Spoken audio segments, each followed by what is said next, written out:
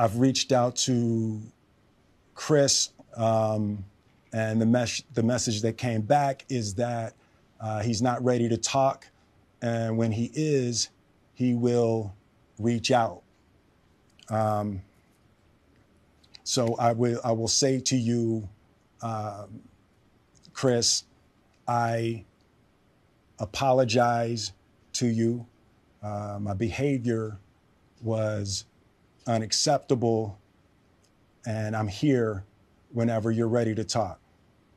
I spent the last three months um, replaying and understanding the nuances and, and the complexities of what happened in, in that moment.